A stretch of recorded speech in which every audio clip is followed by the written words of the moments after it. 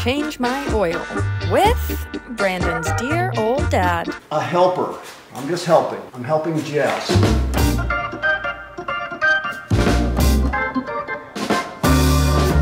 First things first, gotta drain the snake. That's what she said. Find the lug nut thing underneath the car, use something to unscrew it, and make sure you've got something else like a funnel or a giant tube thing to catch all that dirty, dirty oil. Always glove up.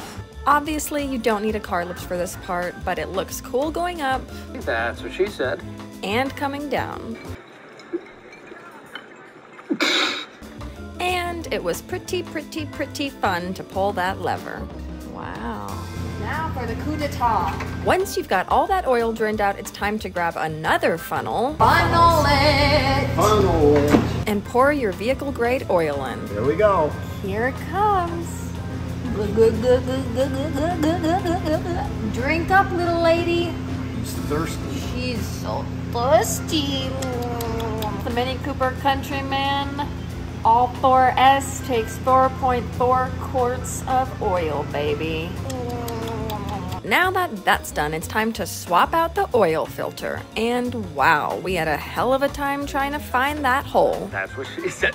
So we looked and we looked, and eventually we pulled up YouTube and found out in less than a minute what we had to do. We had to unscrew and dismantle the antifreeze reservoir, then, nestled far in underneath and to the side, was that filter hose hole that we were looking for. That's what she said. We found the oil filter, and it's beneath some type of reservoir. It's way down in there. Those minis don't want you messing with their stuff.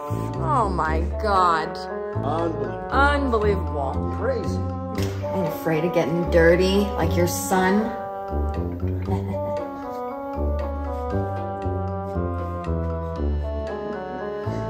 You ever teach Brandon how to do any of this? I I showed him. And I don't think he really was interested. That sounds like him. No ball, no thanks. We found it, we swapped it, and boom. All right, Grandpa Greg has completed the oil filter, the oil, and now he's gonna change my air filter. We just got into the air filter. They didn't want us in there either, but looks like we got a match. This is the dirty filter that we have been breathing in my car. Just kidding, this is what the engine has been breathing. Now this little lady's getting a clean bill of health. Just like us. Okay, the oil change is done. We've got 4.4 quarts in there. She is purring, and now let's start it.